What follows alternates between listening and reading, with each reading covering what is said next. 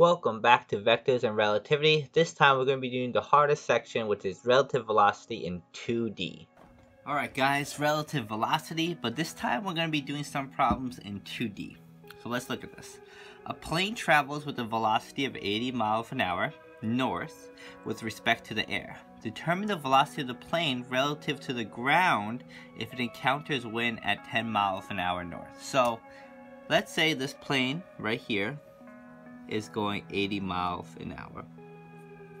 And then wind comes up and picks it up and goes another 10 miles an hour. What we should know is since it's going in the same direction, it's going to be going even faster. So we're going to say this plane now gets a boost from the wind going 90 miles an hour north. So, but let's see, what happens if it goes 10 miles an hour south? So in this case, what's going to happen is the plane is going 80 miles an hour. However, the wind is going the other way 10 miles an hour. What this does is it makes the resultant vector go from where you started to where you ended up not as much so you don't add this time you're going to subtract because you're going he's going against the wind so it's going to be slowing down the plane going 70 miles an hour but still north This is where it gets a little bit more complicated. So it says 10 miles an hour west. So now we're going to use our knowledge of vectors to do this. So the plane is going 80 miles an hour. But then wind is pushing it to the left 10 miles an hour. What we have to do now is to find how fast it's going relative to the ground is we need to find what this result resultant vector is. So we're gonna do some we're gonna do some math and then we're gonna do the Pythagorean theorem and then we figure out that it's gonna be equal to 80.6 miles an hour. So the wind makes it go a little bit faster. And then we're gonna do the inverse of tan and then we're going to find that this is going to be equal to uh, opposite which is 10 divided by 80 7.13 degrees. 7.13 degrees. And yes so we could also say this is going to be west of north. West of north Okay, the next one right here, we're going to do the same thing, but the wind is going in the eastward direction this time, so it's a little bit different. So we have the plane going 80 miles an hour, and then it's going to the east, 60 miles an hour. And now, what we're going to be doing is we're going to be finding the resultant vector and the angle. And we know it's going to be going, when we combine, use Pythagorean theorem, it's going to be going 100 miles an hour at an angle of, let's see, opposite, which is 60 divided by 80, 36.87 degrees. And this is going to be east of north. Okay?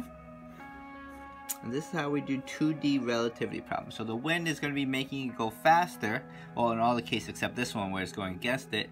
But we have this is how we figure out how much faster it's going and what direction it's going to start pulling the airplane. Alright, next problem. Number 20. The President's airplane, Air Force One, flies at 200 meters per second to the east with respect to the air. The air is moving at 35 meters per second to the north with respect to the ground.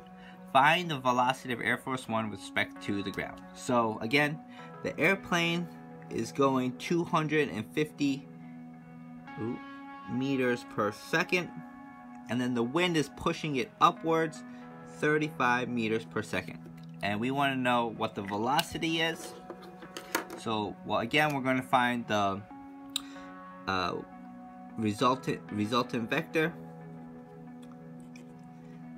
and what we can see is this is going to be equal to 252.44 meters per second at an angle of 7.97 degrees okay We're going to use tan to find that, and we're going to use Pythagorean theorem. Maybe I should show it. So, uh, Pythagorean theorem, a squared 250 squared plus 35 squared equals r squared.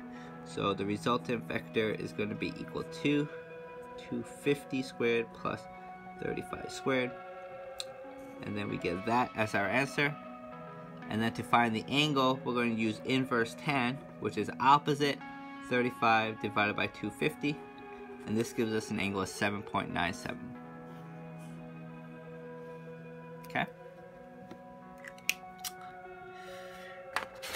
Alright, next problem. Now there's a few problems involving boats, which are a little bit difficult. Uh, students usually have a harder time with this within this chapter. A boat is traveling across a river with a speed of 4 meters per second north.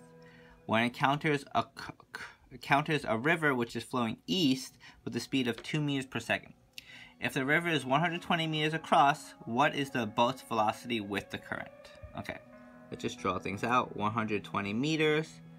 This boat is trying to go 4 meters per second north, and the current is pushing it to the east 2 meters per second. So how this is going to be flowing is, it's going to look like this, but it's going to move like that. Okay? What is the boat's velocity with the current? So the boat's going to be trying to go 4 meters per second north, but then the current's going to be pushing it this way 2 meters per second. So we can find what the velocity is with the current by finding the resultant vector. And again, we're going to use Pythagorean theorem to do that. So we're going to do the square root of 4 squared plus 2 squared. And this is going to give us an answer of 4.47 meters per second. Okay? Now, the question is, how long will it take to cross? So when we're to, it's to start moving, it's to go like that and we're looking for how long will it take to cross. So there's a few ways we can do this problem. We could figure out, okay, um, it's going to be going this way, 4.47 meters per second. And then what we could do is we could find out, once we know the angle of this, we could find out this distance right here. And maybe let's let's try to do that. So let's first find the angle. So we know the angle is going to be tan inverse opposite 2 divided by 4. And this is going to give us an angle of tan 2 divided by 4 of 26.57. Oops. So I don't know I don't know what this length is. However, I know that this length right here is 120 meters, and the angle between these two is 26.57 degrees. This way, I can find out what this distance is going to be. The distance is going to be equal to um, 120. Uh, well, let me just, I guess, just use uh, cosine. So cosine of 26.57 is going to be equal to adjacent, which is this side right here, which is 120, divided by the hypotenuse, which is d. And this gives us 120 divided by cosine of 26.57, 134.17. 34.17 meters. So I know that this is going to be 134.17 meters. And now I know the speed the speed is again uh, going to be 4.47 meters uh, per second. So speed is equal to 4.47 meters per second. And now we can just look for time. So speed is equal to distance over time. 4.47 is equal to 134.17 divided by t. And t will equal divided by 4.47, 30 seconds. Okay?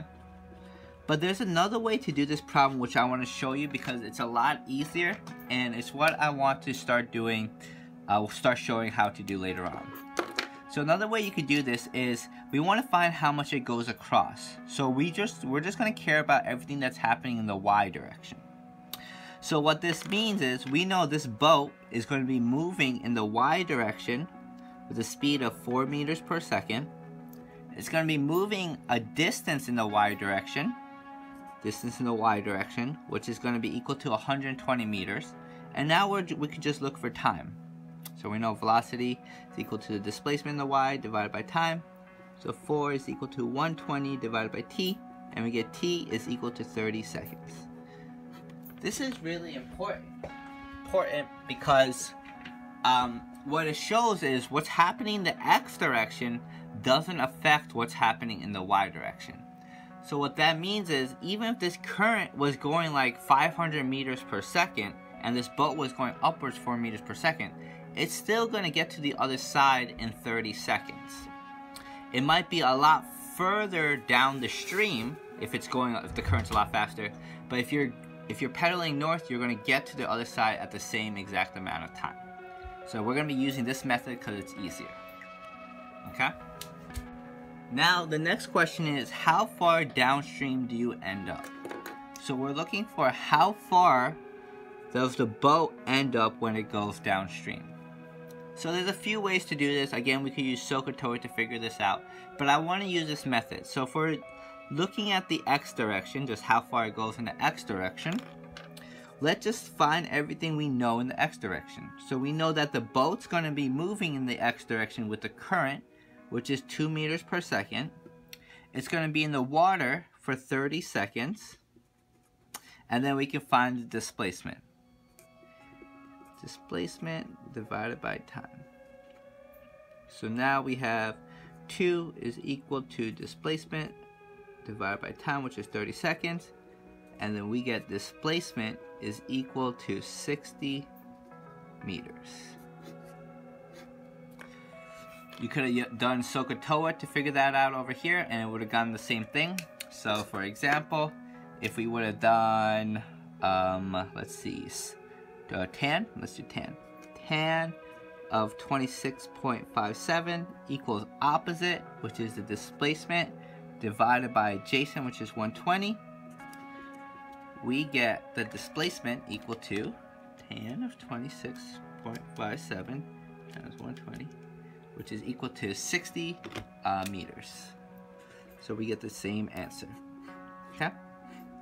Again, I like to use this method more because this also helps out with our next chapter with projectile motion. So I'm going to be showing more how to do it with this method here, even if it's not as intuitive. Okay. Next problem.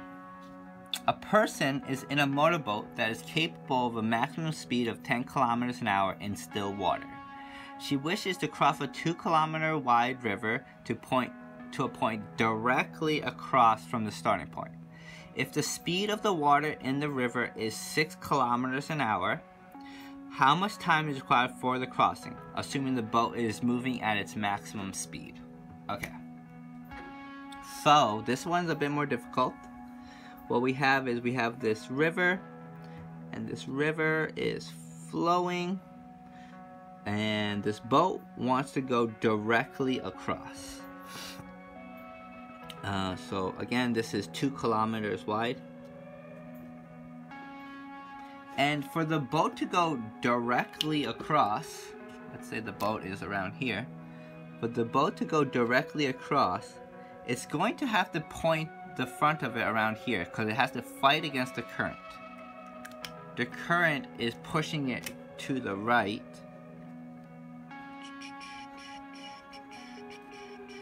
six kilometers an hour. So in order to fight the current and to go across, it's gonna have to point in some general direction this way, going 10 kilometers an hour. 10 kilometers an hour. Okay? What so this is where it becomes a little bit tricky. If it's pushing it to the right 6 kilometers an hour, what we need to know is we need to cancel that out allowing the boat to go against it six kilometers an hour to the left. Okay? So how much time is required for the crossing? Now, what we want to do is we want to find everything in the y direction. So we want to find what the velocity in the y direction is going to be. Uh, we know displacement in the y is equal to 2 kilometers. We want to find what the velocity of the y is, which is going to be 10. Oh, mm, I guess we'll use some, let's see, Pythagorean theorem. So we'll do 10 squared plus, or minus 6 squared is equal to b velocity in the y squared. So we'll just do that. Minus 6 squared.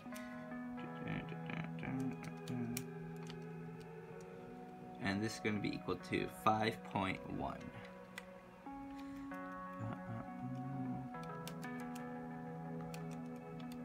sorry.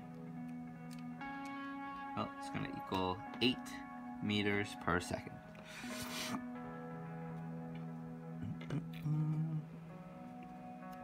Okay. So, so we have this going 8 meter, oh sorry, not 8 meters per second, 8 kilometers per hour. Okay?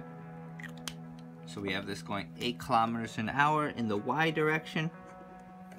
So now that we know what's moving the y direction, uh, then we can find the time, how long it's going to take to get to the other side. Just going to do velocity in the y is equal to displacement in the y divided by time.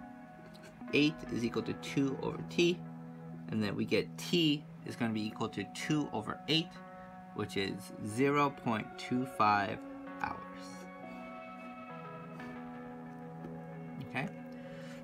What will be the orientation of the boat as it as it moves across the river? Will it be straight or angled in a certain direction? And as I said, it's going to be angled to the left.